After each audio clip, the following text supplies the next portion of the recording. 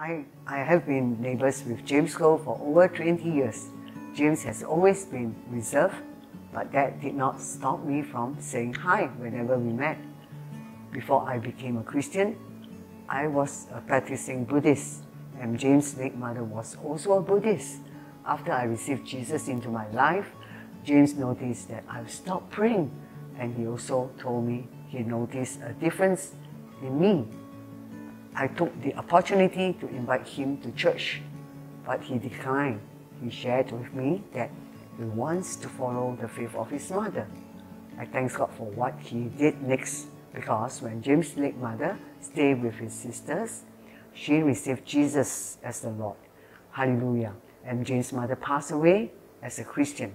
Praise God. From that day on, James felt that he was able to explore the Christian faith. He participated in Alpha to find out more about Christ. And he joined the Cell Group, Connect Group uh, to know more. In recent years, he had a health checkup and his faith grew in God.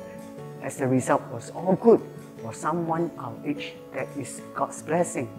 He has been joining me for service and I am so thankful for what God is doing in his life. Praise God. For me, it started as a habit with simple gesture like good morning, God bless you. God took my simple greetings and brought a precious son home. In Jesus' name, hallelujah. Praise God.